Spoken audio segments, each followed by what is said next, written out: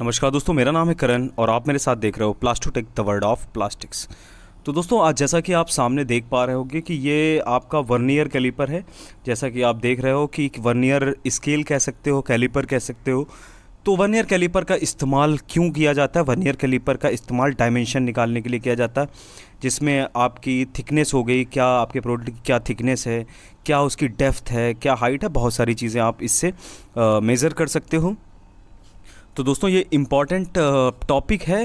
इसमें मैं बहुत डिटेल में आपको ये नहीं बताऊँगा कि क्या क्या चीज़ें इसमें हैं बट मैं सबसे इंपॉर्टेंट चीज़ सिखाऊँगा आपको कि वर्नियर की रीडिंग कैसे करी जाती। है वर्नियर स्केल से आप किस तरह से आप नाप सकते हो, किस तरह से रीडिंग कर सकते हो, क्या इसका लीस्ट काउंट होता है, ये सारी चीज़ें मैं आपको अभी समझा दूँगा। ताकि आपका टाइम वेस्ट ना हो और जो इंपॉर्टेंट है जानना, वही मैं बताता हूँ। इसीलिए चलिए शुरुआत करते हैं वीडियो की। थोड़ा सा जूम करते हैं इसको और समझने की कोशिश करते हैं। यहाँ पे आप देखिए ये स्केल है आपकी, इसको मैं थोड़ा आगे पीछे कर रहा हूँ। तो यहाँ पे आप देखिए क्या है कि अपर साइड यहाँ पे भी आप देख सकते हो कि यहाँ पे आप इंटरनल डायामीटर निकालोगे, जैसे कि आपका बॉटल कैप है और आपके अंदर की डायामीटर निकालना चाहते हो, क्या डिस्टेंस है? तो यहाँ से आप डायामीटर निकाल सकते हो। एक्सटर्नली नापना है तो यहाँ से आप बाहर से कोई भी चीज़ इस पर फंसा के आप इस जगह पर आप प्लेस कर दीजिए। यहाँ से आप मेज़र कर सकते हैं। तो चलिए, अगला स्टेप है कि इसका मेज़रमेंट कैसे होता है? चलिए सपोज़ हमने यहाँ तक आपका कोई भी ऑब्जेक्ट है जिसकी थिकनेस हमें निकालनी है तो हमने इस तरीके से उस ऑब्जेक्ट को यहाँ पे फिक्स कर दिया। अब चलिए पहली रीडिंग पे चलते हैं। पहली रीडिंग होती है हमारी मेन स्केल जिसमें आप देखिए zero ten twenty thirty forty fifty sixty seventy इस तरीके से लिखा हुआ है। Hundred one hundred ten one twenty तो ये है हमारी मेन स्केल मेन स्केल पे हमने क्या लिया कि आप देखिए टेन और ट्वेंटी के बीच का नंबर है तो टेन से वो ज़्यादा पास है नंबर, इसलिए हम क्या लेंगे यहाँ पे? यहाँ पे हमने लिया टेन। टेन हमने, आप देखिए, ऊपर रेड रेड मार्क से टेन हमने ले लिया। अब आया प्लस टू। प्लस टू कहाँ से आया? तो फिर आप देखिए, टेन के आगे क्या है? जो दूसरी रीडिंग है हमारी देखिए टेन के बीच में जो पॉइंट्स हैं वन, टू मतलब दो और तीन पॉइंट के बीच में जहाँ पे ब्लू मार्क है आपका तो हम पहले वाला पॉइंट लेते हैं तो हमने यहाँ पे क्या लिया? टू लिया, दो लिख लिया। अब तीसरे नंबर पे आते हैं। तीसरा जो कि इंपॉर्टेंट है, जो कि आपकी स्मॉल स्केल पे होगा, यहाँ पे आप देखिए, plus zero point six zero लिखा है। ये कैसे आया?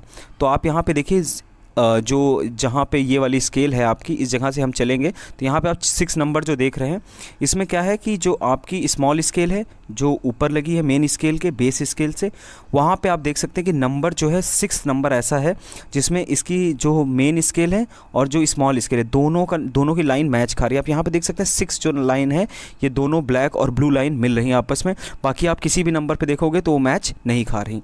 तो जहाँ पे मिलता है, जैसे कि मिला तो ये सिक्स एम एम है। तो हमने क्या किया, इस पर लीस्ट काउंट है। तो लीस्ट काउंट कितना था? जैसे हमारी इस स्केल का लीस्ट काउंट है zero point one m m तो इस सिक्स को हम लीस्ट काउंट मतलब zero point one m m से मल्टीप्लाई कर देंगे। जैसे ही मल्टीप्लाई करेंगे ज़ीरो पॉइंट सिक्स ज़ीरो आ गया। हम तीनों को टोटल करेंगे और आपकी जो डायमेंशन होगी, जो थिकनेस होगी प्रोडक्ट की, वो होगी ट्वेल्व पॉइंट एम चलिए आगे बढ़ते हैं, कुछ और देखते हैं। चलिए एक और प्रोडक्ट हमने लगाया। फॉर एग्ज़ाम्पल कुछ uh, थोड़ा सा ऐसे करके देखते हैं।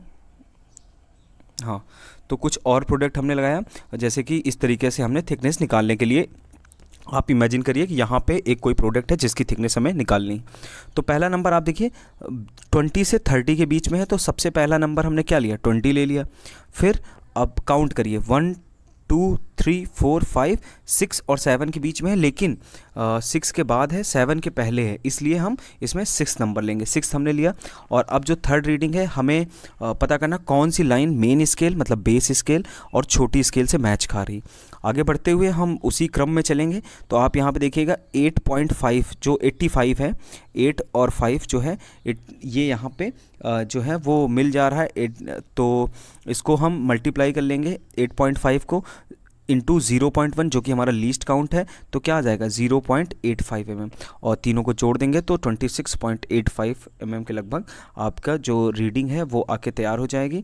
तो दोस्तों, ये है हमारा वर्नियर कैलीपर इस तरीके से हम नापते हैं। और बहुत सारी चीज़ें हैं, जैसे कि आप देख सकते हैं, अगर आपको लम, किसी चीज़ की डेफ्थ नापनी तो इसको जैसे ही आप इस स्केल को नीचे करेंगे तो यहाँ पे आप बाकायदा देख सकते हैं कि एक रॉड निकल रही पीछे की तरफ़ से, ये देख सकते हैं। पीछे की तरफ़ तो इससे आप उसी, इसी फार्मूले से आप इसकी डेप्थ भी निकाल सकते हैं किसी भी चीज़ की।